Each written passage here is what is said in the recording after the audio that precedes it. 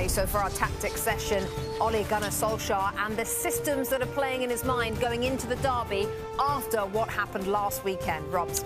It's really interesting and almost maybe the last throw of the dice for Ole Gunnar Solskjaer to try and get more out of his Man United squad. And the system change against Spurs is really interesting, Rob, and how mm. it might affect today. Now, again, real quick here, um, this is what we think it, it could be for today's game. Yeah. Uh, obviously, Bailly could come in. Varane, very important player, is now mm. injured. It might see as well, by the way, Luke Shaw coming into a centre-back position and, and a different player, coming in. You could see that. Yeah. But this is maybe what, what we're going to see from Man United today. And I think the system change is really important and that the, the stable part of it is this. It's the three across the back. It's the two wing-backs you know, whether it's going to be Shaw and Wan-Bissaka or maybe Dalot on that far side. But yeah. other than that, then you figure out how, to, how, to, how it goes in midfield.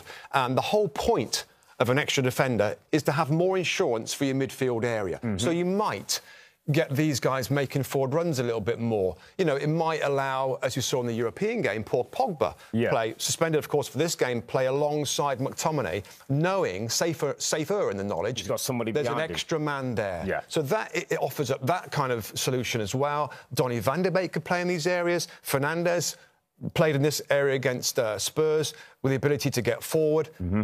And of course, if you play the three and then the two up front, Solskjaer's got options as his front pairing as well. Yeah. Against Manchester City, I don't know whether we'll see Ronaldo and Cavani, brilliant, brilliant players, reliable, experienced players, but we'd assume that Man City are going to dominate possession, so he might go for a, a Rashford or a Greenwood to play alongside. What, a bit more pace on the counter. A little bit more pace on yeah. the counter attack, but then again, hmm, it, it, this system can change where you can have the three up front, three quick players mm. with Ronaldo involved in that as well, two side by side. So I like this option for Ole Gunnar Solskjaer in terms of the system, for what it offers other players and how other players might enjoy it. Rashford, Greenwood, Rob aren't really wingers for me. Mm. They wouldn't mind playing in these kind of inside yeah. positions here and here to support Ronaldo.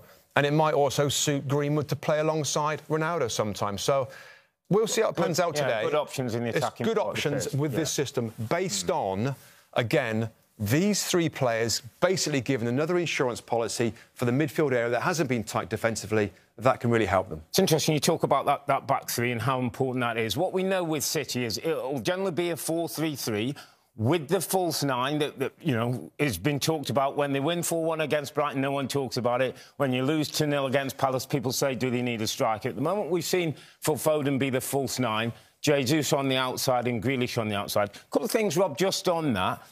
Ferran Torres in the last international break broke his foot, and I think he's been a big miss for City in that sort of false nine role because his pace in the way he played it. I thought he gave him another option. Today is interesting. I don't know today if I might start with Jesus as a more central player. Why am I saying that? Because at times as a centre forward, he might run in behind rather than always come towards a ball that we see Phil, Phil Foden do and mm. bring players in. But there's one thing I just wanted to bring up to you, Rob, that if Manchester City go the 4-3-3, and you talked about those three centre-backs, by Maguire and probably Lindelof, if I'm Man City and I'm Pep, what if I say Grealish, Foden and Jesus, if that's my front three, go and sit against those back three centre-backs, man for man, now, I think that will affect mm. United, and what will happen to the fullback? Yeah, I, I think that you're going to see this, which is Correct. which is some ways a problem with this system. we like it. We like it when it's three at the back. Mm. We don't like it so much when it's five at the back because it, it, gives certain room, which I, I, guess you're going to show right now, uh, as they as they play in a five. Well, and, and, what we know with City is he'll go in there, he'll go in there, and then we start to get this guy, Rob, particularly, yeah. who can get on the ball. Walker, who can use his pace on the outside. Those two fullbacks for Manchester City could yeah. be a real danger for United if they get pinned back in a five, as we see with Shaw and Wan-Bissaka, next to those central three. And just another point, Rob, on that. And we've talked about the benefits of the five at the back for Man United. Yeah. But again, City overload midfield. Mm -hmm. So if you get whether whoever's playing out there, if these guys come in in field, yeah. you know, and I know that these three will be in and around, but there could be. I mean, he comes in here, they could absolutely dominate yeah. this area.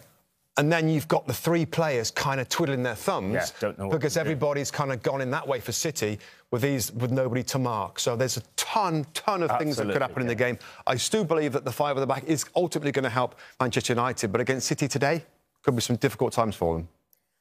Lovely stuff. Thank you, chaps. For more analysis from the two Robbies, check out their podcast where they discuss the biggest matches and stories throughout the season. It's available wherever you get your pods. That was today's Tactics Session.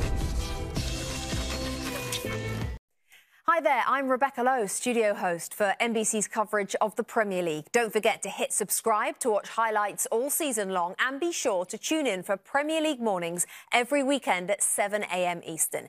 And for even more content, head over to Peacock where we've got live games, original series and a dedicated round-the-clock Premier League channel featuring studio shows, classic matches and much more.